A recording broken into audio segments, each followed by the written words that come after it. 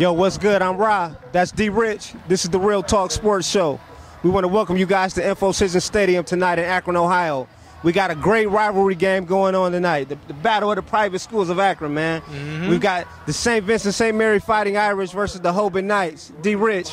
Man, we got a really great atmosphere outside, man. Fans are tailgating. Students are excited. Been out here all day. All day. You say what you say? 8 a.m. 8 a.m. I was going to class, seen them out here tailgating already. Wow, man. I don't think Akron U even does it like this. Yeah, I I almost stopped and got me a plate, but I didn't. I had to get to class. I was running pretty late. So.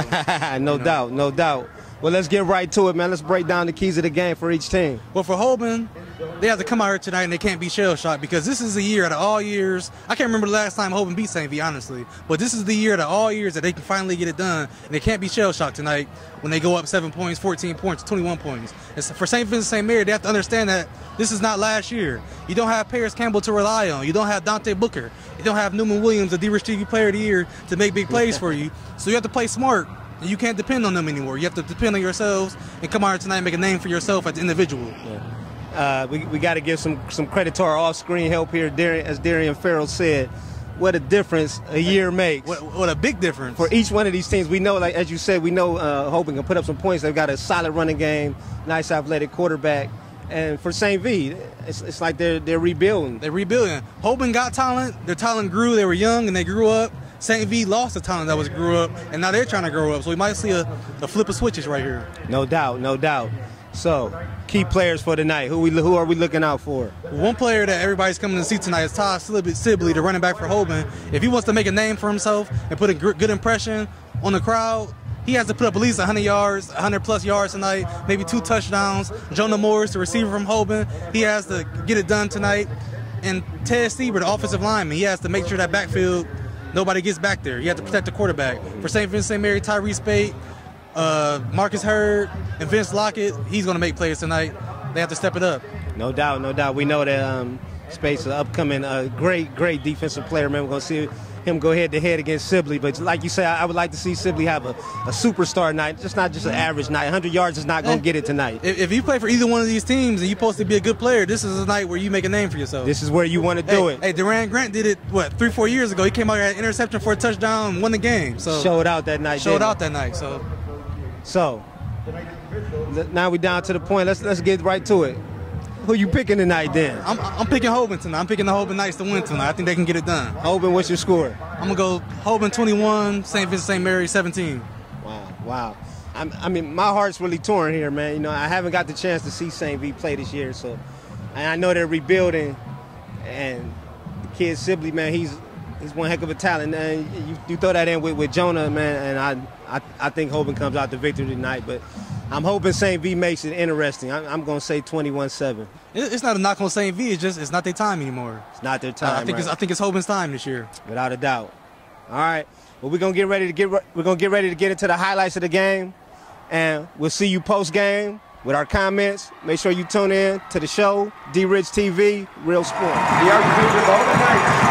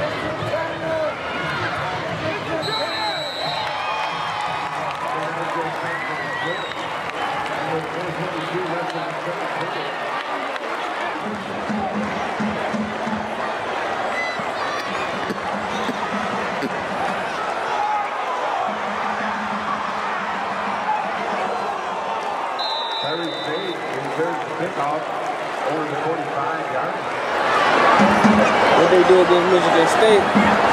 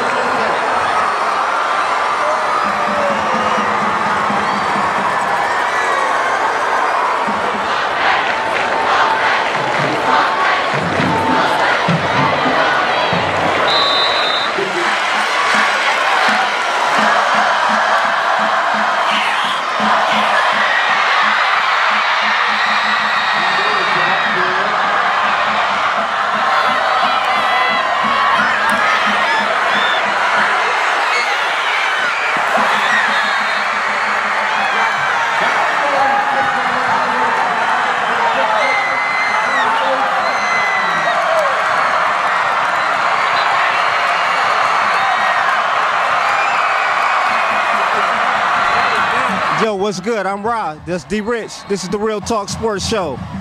D Rich has been a very exciting game, man. We talked about earlier in, in the pregame show, we said what a difference a year makes. Man, tell me. What a difference a, year half, makes. What a difference a half makes. A half. A half. hey, Hoban had them the whole game, but choked, man. It's over. They did. They, are through. It's over. You- There's you- still a minute left in the game, but I don't, I don't think they can do it. You want to give you, the fans at home your synopsis of what went down here? Well, basically, Hoban's Todd Sibley did exactly what I, I, I thought he was going to do. He came on, dominated the first half, got a hip injury in the third quarter, I think it was. Wasn't able to come back after that. And after that, the game changed. It, it changed drastically. You definitely could feel a shift of energy when Sibley went down in this game. It's like. Pete picked up the ball and they never looked back. Even fighting, uh, even down here to the last, last second. Uh, and let's talk about the catch from Tyrece Speaight. That was such a, a clutch catch. That catch, man. It- it- I, I thought the quarterback was just throwing the ball up for grabs, and somehow he comes down with it and runs it in for a touchdown. That, changed the game. That changed And, the and the catch on the sideline we got his feet in, looking like Calvin Johnson, Emmanuel Sanders, uh, Mario Manningham in the championship game against the Patriots. Hey, getting both feet down, getting the job done. Getting the job done. Yes, yes, yes. St. V. Um, like I said, a tell of two halves um, looked like a totally different team from the first half. I don't know uh, what the coach said to him uh, to get him energized, but they definitely came out here and got the job done. Probably told him this: We don't lose the Hoban anymore, guys. We don't lose the Hoban anymore. That's probably what he told him. We don't. We don't do this anymore. It's, a been- new us. We don't lose the Hoban anymore. It's been We what eight eight years, Yeah, seven years. seven years. So Well, there you guys have it.